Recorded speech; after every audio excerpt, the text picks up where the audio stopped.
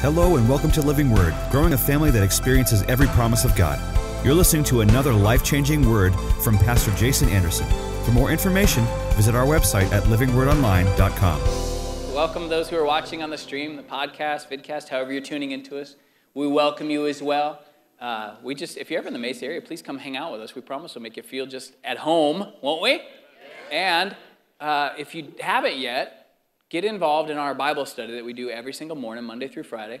Uh, Pastor Scott and I do it. It's a scripture in the morning. We pray over your day, and you can find that on YouTube. It's called Wake Up, or you could text the number that's on the screen right now, and they will get you signed up for that. We appreciate you being with us. Let's pray. Father God, I thank you, Lord, and praise you for this morning. ask, Lord, that you bless this time, open up our hearts to receive your word, that your word is truth, it's seed, it's inspired, that it's changing, and it'll grow us, Lord, that your word is manna, it's practical, we can use it today, it's the bread of life. Holy Spirit, be our teacher. This morning, teach us what we need to know, prepare us for what's coming in our lives. And Spirit of God, partner with me and help me speak truth. In Jesus' name. And everybody said, Amen. Today, I want to talk to you about what is God's response to sin. Sometimes a, a pastor will bring a message that is encouraging and uh, reminding us of something maybe we need to remember about God's goodness. Or sometimes a pastor brings you a message about things you can do, work on, and, and, then, and then sometimes a pastor brings a word that might be there to correct and uproot wrong belief systems. Uh, today's message is more of the correcting kind of looking at the body of Christ and finding out that there are things that sometimes we believe that aren't true. And so we're going to look at the new covenant and the old covenant.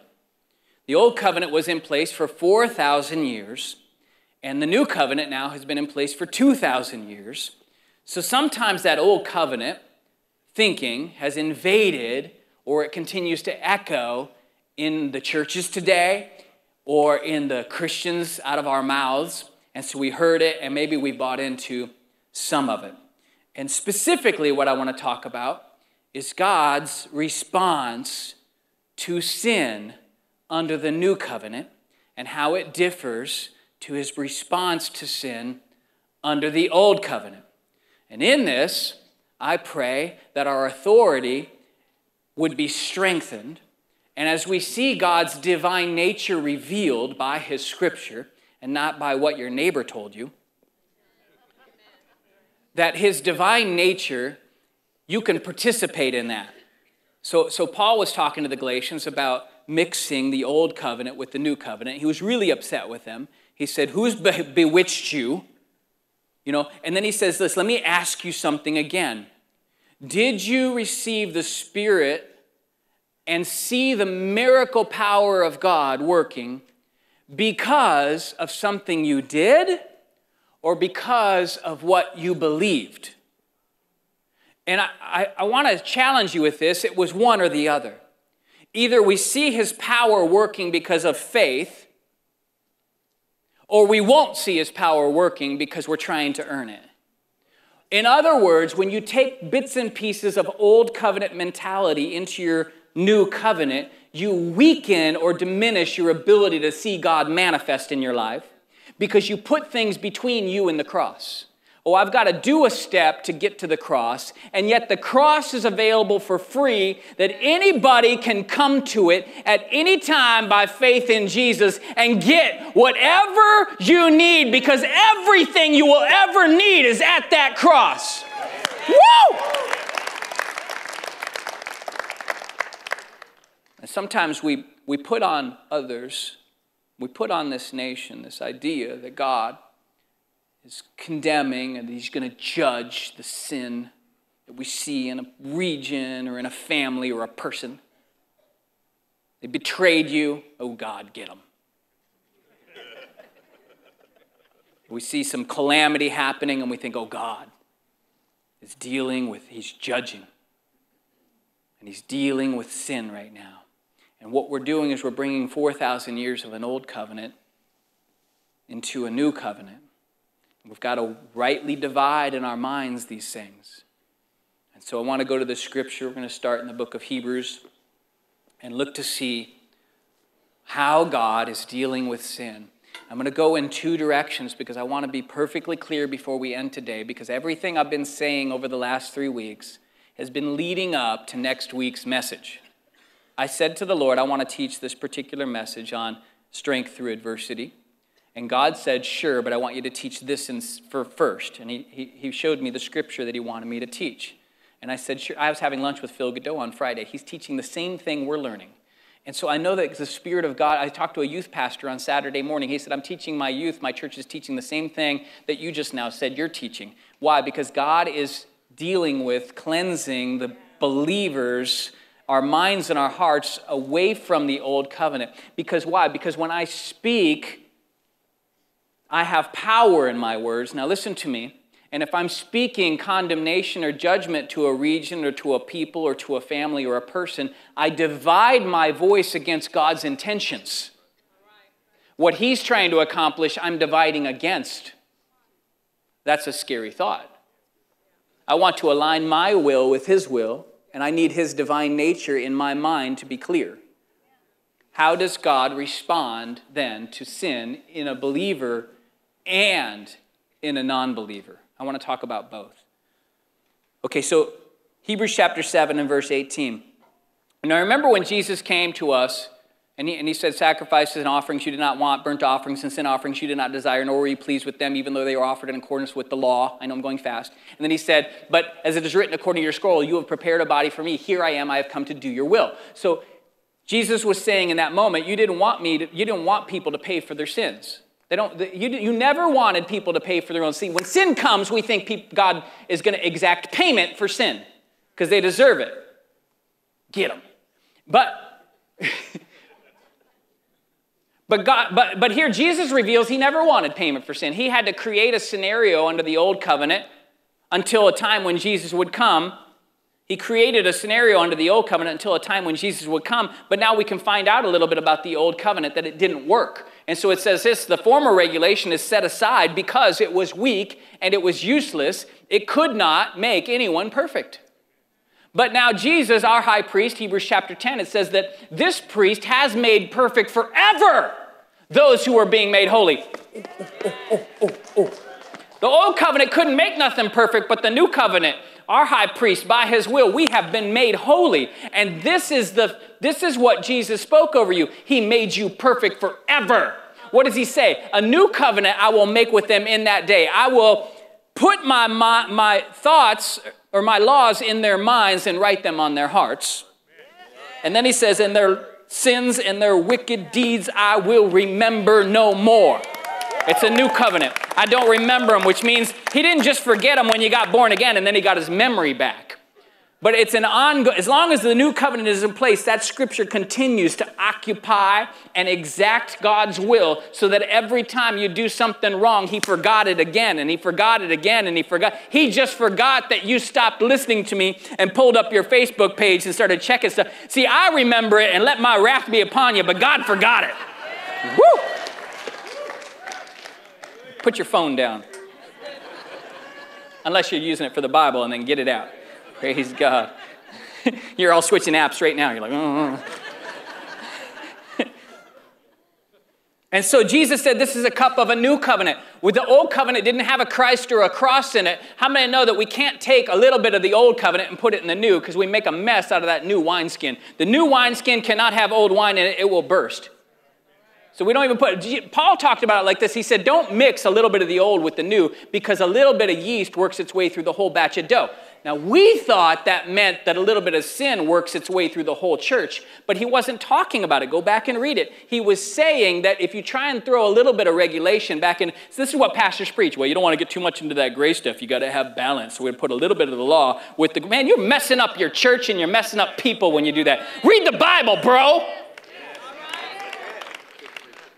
You don't take a little bit of the old, don't even a little bit. Don't mix even a little bit of the old law because God's trying to cleanse you and get you acting like Jesus with his will on the planet. Because what does Jesus do when he comes to a sinner city?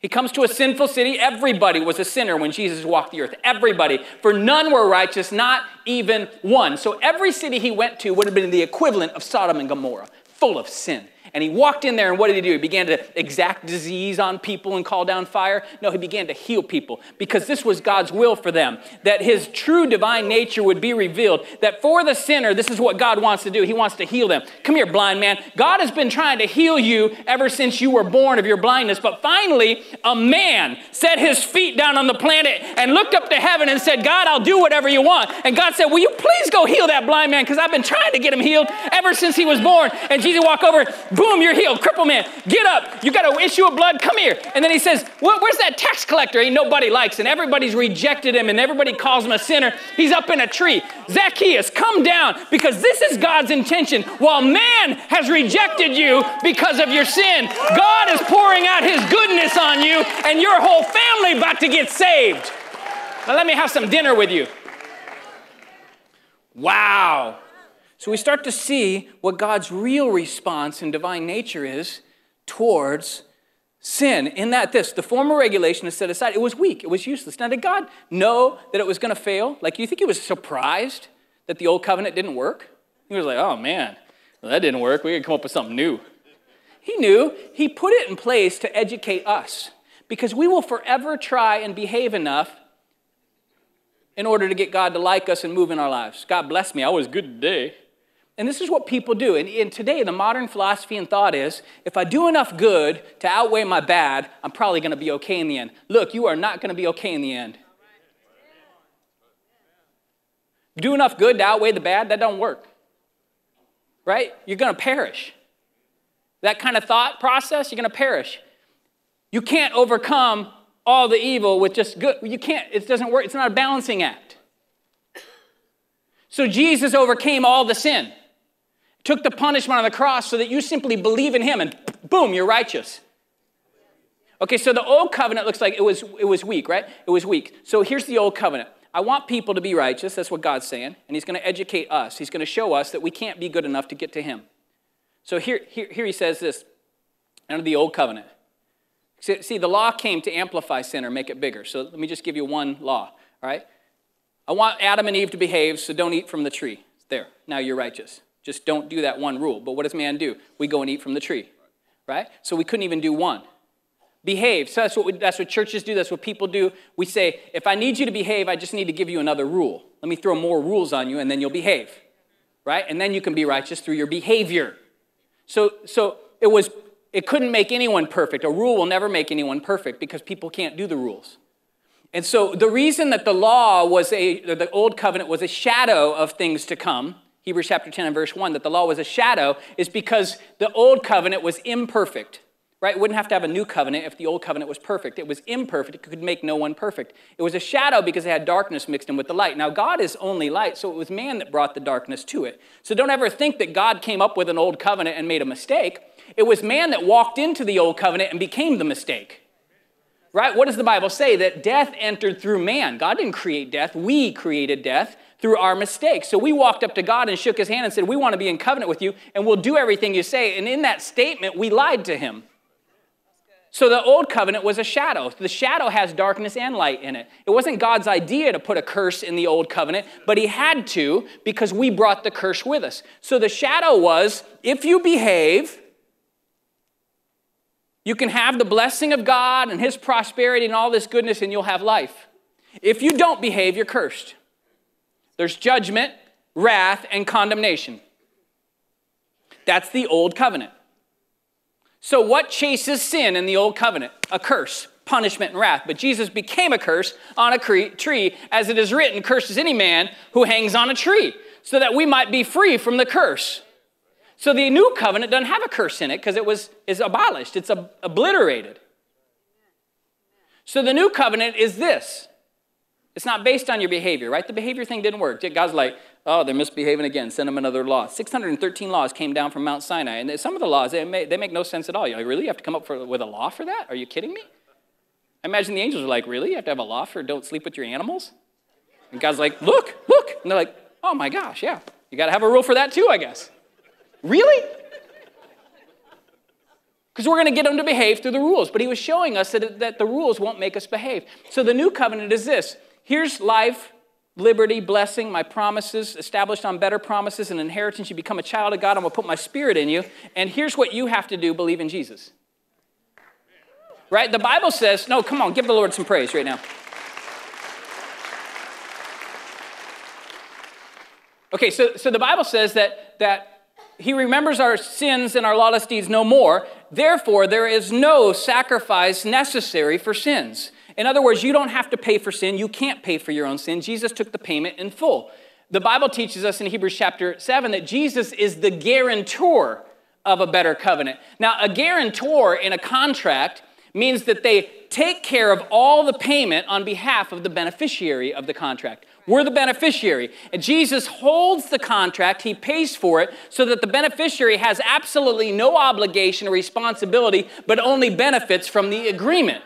Jesus paid for it in full. He signed his name in blood. See, under the old covenant, you could break the covenant because the covenant was between man and God. But under the new covenant, you can't break the covenant because the covenant is between Christ and God, and he shares it with us. He's the guarantor. He's like, I got the payment, you just benefit. Praise the Lord Jesus. So he's writing his laws in our hearts and our minds. He remembers our sins no more. Romans chapter 5 and verse 16 says this The judgment, we're going to start right here. The judgment followed one sin. So he's talking about the old covenant. What used to follow sin? Judgment. It followed it, it chased it. So this is the old covenant, 4,000 years of looking at how sin was dealt with. Okay? Judgment followed sin and thereby condemnation. Okay? It brought it. But the gift, now, what gift? The gift of grace. The, the, the gift of grace. The, the Bible says in Ephesians chapter 2 and verse 6 that we, like them, were deserving, by, or were by nature, let me say it again. What we were like them, by nature, deserving of God's wrath. In other words, remember when you weren't born again and you were an unbeliever and you deserved wrath? Do you remember that? That's what he was saying, right? He goes all the way back. He says, Remember when you were dead in your sins and transgressions? You lived according to the ways of this world and under the ruler of the kingdom of the air, the spirit of which is now at work in those who are disobedient. And we also were like them when we ran around and satisfied the cravings of the flesh and followed its desires and thoughts. We were like them by nature deserving of wrath. You deserved it, so did I. What do we expect to happen on the end of sin? Boom, punish me. I deserve it. Remember when you were not born again and you deserved wrath? You remember that? Then it says this, but because of his great love, God, who is rich in mercy, made us alive in Christ, even though we were dead in our trespasses. Is that scripture up there? Put that scripture up there. What does it say? Give me verse 6, Ephesians chapter 2. And God raised us up with, no, no, no. Uh, uh, oh, that is verse 6. Okay, okay, go back a little bit. Go back up verse 5 or verse 4. I got to find it. We're jumping around in my notes. I know she's so good. But because of his great love for us, God, who is rich in no, no, go back one more. Made us alive with Christ. I know we were alive. I love it. Go back to three. And all, all of us lived among them at one time, gratifying the cravings of our flesh and following its desires and thoughts. Like the rest, we were by nature, say by nature, by nature you were deserving of wrath. What does he mean? He means you were born a sinner. Were, there was one sin that entered Adam, and judgment followed one sin. Isn't that what it says in Romans chapter 5, verse 16? There was judgment following, it was chasing one sin. We by nature, David said this, he was born a sinner. Didn't even matter. He said, he's like, yeah, I, I know. I slept with Bathsheba. I killed Uriah. I get it. But listen, I was born a sinner. I was born sinful. You were by nature deserving, you were born deserving wrath because you were in Adam when he sinned. Do you see that? So sin entered the world and it infected and impacted everyone so that judgment would follow the one sin. Now go back to Romans chapter 5 and verse 16. But the gift. Okay, so wait, wait. So it says in Ephesians chapter 2 and verse 8 that the gift is God's grace. We have been saved by grace through faith in Jesus Christ, and this is the gift of God so that no one can boast. So I got a gift when I received and believed in Jesus. When you received and believed in Jesus, you got a gift, and the gift is called God's grace. It was a gift. It wasn't a wage. You didn't earn it. You didn't do anything to get it, but you got it for free by faith in Christ. It had nothing to do with your behavior. And so this is what he says now. And this is not from, oh, so she went to it, and this is not ourselves, this is a gift. Nor can the gift, that's God's grace, of God be compared with the result of one man's sin. The, judge fo- the judgment followed one sin. What chased sin? Judgment, and brought condemnation. But the gift followed many sins and brought justification. So, under the new covenant, God is chasing sin with grace. He says a little bit later, he says, so that when sin abounds, grace increases even more. So we want that when sin happens, punishment is coming, condemnation, wrath, and judgment is coming to that guy who, who stabbed you in the back and stole your money out of the partnership and you, God, get him. Well, you can't do that, man. God's wrath will come on you and his punishment's coming on you and you get him, Lord. But Jesus said, I need you to think differently. Okay? So when people persecute you and steal and lie about you, just bless them and pray for them because I'm blessing you when they persecute you. Now, this is what Jesus did, right? When they wronged him, he's up on a cross and he says, What? Father, forgive them, for they know not what they do. So when sin happens, the worst sin possible, they're crucifying the Son of God. What chases sin? What's chasing sin now under the new covenant is not judgment. So when we see judgment, we should not think, oh, God is going to chase, or when we, that God is chasing sin. Instead, God under the new covenant, because when Christ put his feet on this planet and came in the flesh, he started something new. And now he chases sin with the gift of grace. So that you used to disobey under the old covenant and God would chase you with the storm of Noah. You see, when you misbehave, God going to chase you down with a storm of destruction. Old covenant thinking. Now, when you misbehave, God is chasing you with a tidal wave of his goodness and grace. Come on, somebody. He's chasing your sin with grace and goodness. Why? It says in the end, the last scripture, I think it's Hebrew, Romans chapter 12 and verse 21, it says this We overcome evil with good. That's his new strategy. The strategy is not to overcome evil with punishment, but to overcome evil with good. It's a shift, isn't it? So we, we need to re- recognize that this is how God is behaving now. Now, it says in the, in the book of Hebrews that this high priest has sprinkled the blood, and it speaks, his blood speaks a different word than the blood of Abel. Do we have that scripture? Here it is. To Jesus, the mediator of a new covenant, say new covenant. It's new. It's new. It's just, it's different. It's not the old. We'll reprogram our thinking here. And to the sprinkled blood that speaks a better word than the blood of Abel. It's a better word than the blood of Abel. So, what did Abel's blood speak? Abel's killed by his brother Cain. He bleeds into the earth, and God says to Cain, I can hear your, blood, your brother's blood crying out to me from the ground. The blood is talking. And what was it saying? Man, avenge me, right? Punish, judge, right? It's, call, it's talking to the ground. Look what just happened to me. And so God has to say to Cain, look, the earth's not going to give you anything ever again. Because of what you, because of the blood is talking, it's disqual the, the, earth, the creation itself has disqualified you from getting any kind of production out of it at all. Right? Even when Adam sinned, God had to say to him, hey, cursed is the ground because of you. But he said to Cain, now the earth is iron and the heavens have become bronze. You get squat now. Because the blood is crying out to me, punish, avenge, revenge. But Christ's blood speaks a better word. What does Christ's blood say? It says, Forgive them, for they know not what they do. Now, I can either walk around with Adam's blood, with Cain's blood, with Abel's blood in me. See, I was born of Adam initially, so I've got that same blood in me that cries out, boom, revenge, get him, God. But now that I'm a believer, I don't have that blood flowing through my veins anymore. I have the blood of Jesus Christ and it speaks a better word. And I need to align my mouth and my thinking and my heart and my emotions to what Jesus' blood is saying. And Jesus' blood says, You wronged me, but it's okay. I love you. I forgive you. Now, Jesus got up on the cross and his blood was saying what? Father, forgive them, for they know not what they do. Now, they're killing him. They're spitting on him, they're, they're taunting him and insulting him. And his blood's hitting the ground and saying, Forgive them. Redemption.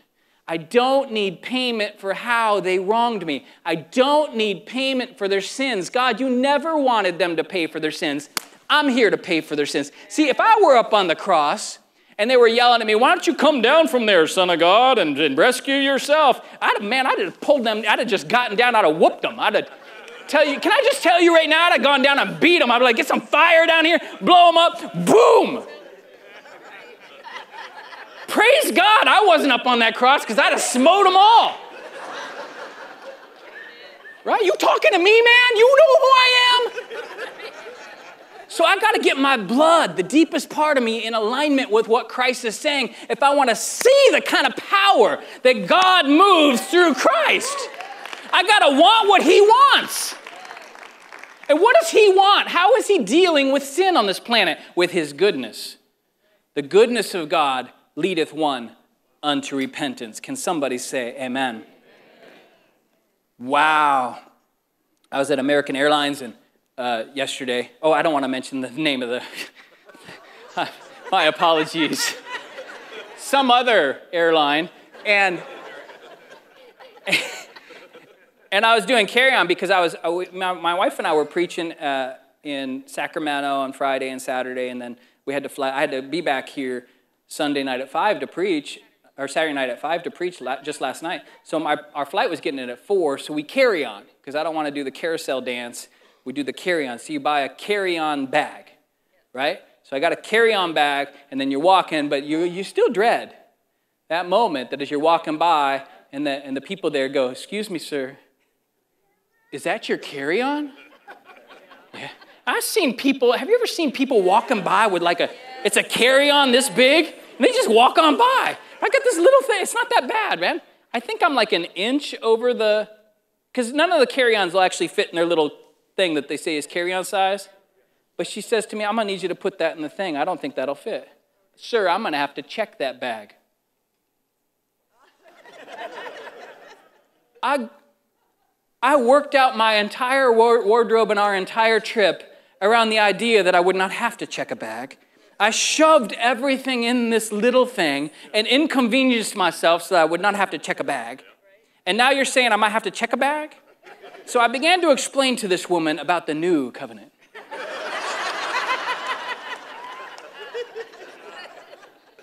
I said, Sister, I think you're mistaken. What is your name? She said, Moses. And I was like, oh, I'm in trouble now. and I put that thing in there, and she looked at it, and it did not size up properly, so she judged it. And she cast my bag into outer darkness where there was weeping and gnashing of teeth. And I had to go and do the carousel dance after we, we got here just in time, and God, God worked everything out. I think sometimes we believe that our lives, even after we become believers, that we're walking around and God is sizing us up to see if we're fitting properly in His confines and behaving the way He thinks we should behave. And then we're worried that He's going to see us out of bounds. And in that moment, He's going to judge you. And that judgment's going to come. That, but now what follows our sin is God's grace and not His judgment. Can somebody say amen? Praise God. Praise the Lord. Checking the time. So, what of the unbelievers? Have they escaped the wrath of God? A non believer? The Bible says that we as believers have escaped the wrath of God. What of the non believer? What was Paul talking about when he said, Remember when you were like them? You did what this kind of stuff they did? and you deserved God's wrath? Even by nature, you were born a sinner and you deserved it. Did God not wait for you? Did He not rescue you and make you alive? Was His response to punish you for your sin? Or was His response to wait for you to find you, to call you to Him, so that you might be set free and made alive in Christ? You see, you deserved wrath, but he reserved wrath. He set it aside because he wishes none would perish, but all would come to the saving knowledge of Jesus Christ. When Sodom and Gomorrah was under attack because of their great sin, God had a conversation with Abraham, and Abraham said, Would you spare the place if there were just 50 righteous? And God said, If there were 50 righteous in that city, I would spare the whole place for their sake. Now, there's a picture there because, of course, if it were just 10 or even one, it would still be the same. Jesus tells a parable about wheat and weeds, and it's a picture of the lost and the righteous have grown up together in the same field. And isn't that the field we live in today? And the servants said to the master, Do you want us to pull the weeds and burn them now? And the master said, No, let's wait till the end, and we'll harvest them all in the last moment. Paul said this, O unrepentant hearts, and this is for the non believer, don't you know you are storing up wrath for yourself? Say storing, not being dispensed. Storing up wrath for yourself, which will be dispensed in the day of wrath. You may, the unbeliever may deserve it, but God has reserved it. The unbeliever may deserve it, but God has reserved it. Let me show it to you in another way. You see, God has asked us to spread, spread out across this nation, across this world, right? Spread out to the right, to the left, to the north, to the south. That's the righteous. And so wherever you are is safe from God's wrath. Do you see that? See, when I ride an airplane, everybody on that plane is safe because I'm there. I'm not saying that in arrogance. I know I'm in the righteousness of God. Okay. And God has asked us, Christ has asked us to be the salt of the earth, which means we're the preservative of the planet. Okay. So I want to show this to you right now. Hebrews chapter 9 and verse 27. Just as people are destined to die once, and after that, to face judgment. Okay, so under the old covenant, judgment followed sin. Is that right? Under the new covenant, there is no judgment for sin until after death. In other words, and we're believers. How many know that we're believers? So when God declared you righteous, He judged you in that moment, just so you know. That was your judgment. He heard all the evidence. He found out you had faith in Christ, and He declared you righteous. You've been called not guilty. You're done. You're finished. You're in eternity. You're in. Say, I'm in. I'm in. Written in the Lamb's Book of Life, done. Okay? But for the non believer, there's a waiting. God wishes that none would perish, so his, in his great mercy, he just waits. He's waiting. He's not judging. He's not pouring out his. When you see calamity happen on this earth, it's not God's judgment. God said this if someone attacks you, I didn't do it. Isaiah chapter 54. Under the new covenant, when there's an attack, whether it's a hurricane, a volcano, fire, somebody's pulling out a gun and being a numbskull, God's saying, I didn't do that. I had nothing to do with it. Okay? And so, so we don't speak, oh, God is doing that. Instead, we speak against what Satan is trying to work in our nation or work on our planet. Oh, Lord, there's power on that. Did you get that? Okay, so if anyone does attack you will not be to my doing, whoever attacks you will surrender to you. But, but the scripture says this judgment follows death. In other words, now listen to me, and I'll close with this. Not one single person since Christ hit this planet has been judged and killed by God since Christ hit here. I don't, I don't think God ever killed anybody. But I can tell you for a fact that judgment doesn't happen until after someone dies. So we've got to get that out of our hearts and out of our minds forever. Even for the non believer, God is not judging any. You might think they deserve it, and they do. They deserve it, but it is reserved because God is trying to save them. He's trying just in the same way He waited for you, He's waiting for them. In the same way He's waiting for you, He's waiting for them. So, should not our hearts burn with the gospel of Jesus Christ to anyone who is still breathing air and say, You've escaped it till now, brother, but can I help you escape it in eternity? Can I bring the message? See, my mom was over at my house on Halloween and we were talking to our neighbors, and my mom said, Hey, I noticed that you're talking about the, the, church a little bit to your neighbors. I said, Yeah, we've got some pamphlets here. He's like, she's like, Oh, is that what tonight's about? Is to really help and then bring neighbors to the Lord? I said, Absolutely. As soon as she got that fire in her, I'll tell you what, she walked around the table, she stood out in my driveway, and everybody that's walking, she starts preaching the gospel of Jesus Christ to all my neighbors as they're walking up. Mom, what are you doing? Come here. This is my neighbors. You're freaking them out. Shh. Settle down. Should not our hearts burn like my mom for the lost? Man, can I just say, because it is, it is, it is a fire. Why is it, there's a fearful expectation of judgment and eternal fire, raging fire. That's what the Bible says. But as long as I'm breathing, God is not punishing me. He is chasing me with His grace. He is leading me by goodness to repentance. It is the goodness of God that overcomes evil, and this has to be our mouth. So now stand up with me. We got some work to do. Because we are a church now that has been set free entirely by the idea that what's been happening in our nation and the attacks we've seen are from God. We can say for sure, without a shadow of a doubt, by the scripture I bore out and the word of the Lord that I spoke to you, that none of it is God's will. God is not sending our nation a message. So now listen, which means that the enemy is attacking our nation and trying to bring fear to us. And I don't know what he's so worried about that's got him all fired up, but he's got all kinds of calamity happening all over our nation. And if that is not the will of the Lord, then I'm going to speak what God wants me to speak, which is protection over our nation. And let us be the church that this morning speaks protection and comfort to our nation to thwart the plans of the devil. Acts chapter 10 and verse 38 says that God anointed Jesus with the Holy Spirit and with power to go about doing good and setting those free and healing those who were oppressed by the devil. We have an enemy, let's talk against him. Let's speak prosperity to our nation and safety. Let's release the power of God to do what He wills to do. Let's be the man that manifests a miracle on this planet.